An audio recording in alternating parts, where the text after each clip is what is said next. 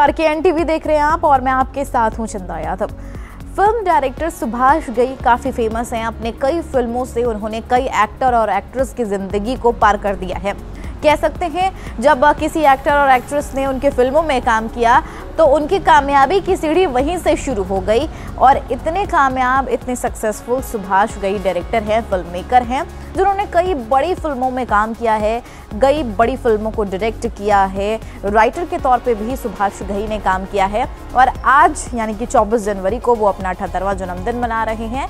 बीती रात उन्होंने अपने जन्मदिन को लेकर पार्टी दी और इस पार्टी में, बर्थडे पार्टी में कई सितारे शामिल हुए, फिल्मी सितारे शामिल हुए, जिसमें सलमान खान नज़र आए। और सलमान खान के साथ अगर आप ऐश्वर्या का नाम सुनते हैं तो आप वहीं ठहर जाते हैं और सोचते हैं कि चलो इस खबर को पढ़ा जाए, कहीं कोई चटपटी खबर तो नहीं है।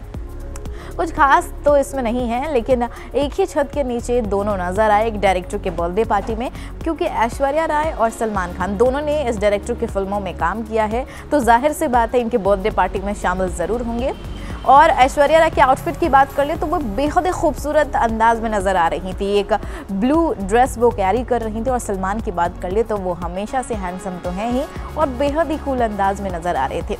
इस खास बात आपको बता दें जब सुभाष घई अपने केक कट कर रहे थे तो, सलमान खान उनके साथ नज़र आए थे और इस दौरान बहुत से सितारे फिल्मी सितारे पहुँचे अनिल कपूर पहुँचे अनुपम खेर पहुँचे कार्तिक आर्यन बेहद कूल लग रहे थे बहुत ही ज़्यादा स्मार्ट लग रहे थे हैंडसम लग रहे थे वो भी उस पार्टी में नज़र आए और ऐसे कई फिल्मी सितारे उस डायरेक्टर के बर्थडे पार्टी में शामिल हुए हैं।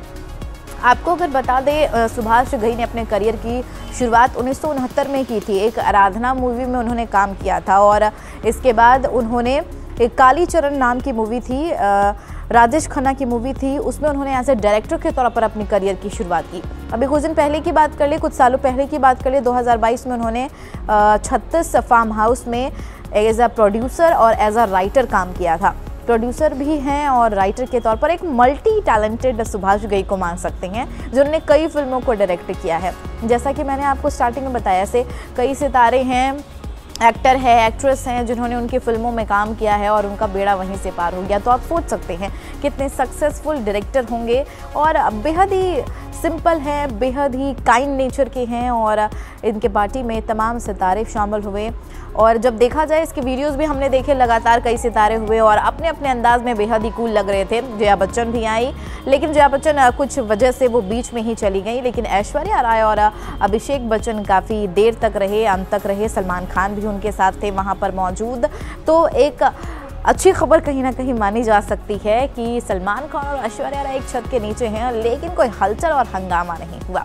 तो ये थी सुभाष गई के बर्थडे पार्टी की खबरें जो अठहत्तरवा अपना जन्मदिन मना रही हैं कामयाबी के जन्मदिन मना रही हैं। कई सितारे उनके इस बर्थडे पार्टी में शामिल हुए उनके खुशी में आ, शामिल हुए शिरकत करते हुए नज़र आए और उनके जन्मदिन को बेहद ही खुशी अंदाज में मनाया गया। ऐसे ही दिलचस्प खबरों के लिए हमारे साथ बने रहिए।